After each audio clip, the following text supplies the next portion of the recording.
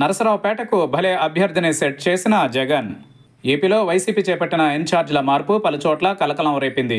ఇన్ఛార్జీల మార్పుల్లో భాగంగా ఓ ఎంపీ స్థానం నుంచి మరో చోటికి వెళ్ళాలని కోరడంతో సదరు సిట్టింగ్ ఎంపీ ఏకంగా పార్టీకే రాజీనామా చేసి వెళ్ళిపోయారు దీంతో ఈ సీటులో ఎవరిని బరిలోకి దింపాలని ఆలోచిస్తున్న సీఎం జగన్కు తాజాగా తట్టిన ఓ ఆలోచన ఇప్పుడు చర్చనీయాంశమవుతోంది. అయితేనేం వైసీపీకి మాత్రం ఆ ఎంపీ సీటులో అభ్యర్థి బెంగ మాత్రం తీరినట్లే కనిపిస్తోంది. రాష్ట్రంలోని ఎంపీ సీట్లలో పల్నాడు జిల్లా పరిధిలోకి వచ్చే కీలకమైన నరసరావుపేట స్థానం కూడా ఒకటి.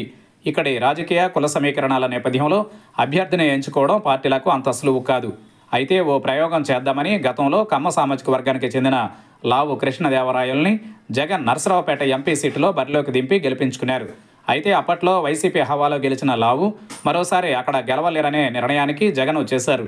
దీంతో బీసీ అభ్యర్థి వైపు ఆయన దృష్టి మళ్ళింది నరసరావుపేట స్థానంలో వైసీపీ తరఫున కొత్తగా బీసీ అభ్యర్థిని తీసుకొస్తే కుదురుకోవడానికి సమయం పడుతుంది. దీంతో పార్టీలో ఉన్న మంత్రి విడదల రజనీతో పాటు మరికొన్ని ఆప్షన్లను జగన్ పరిశీలించారు.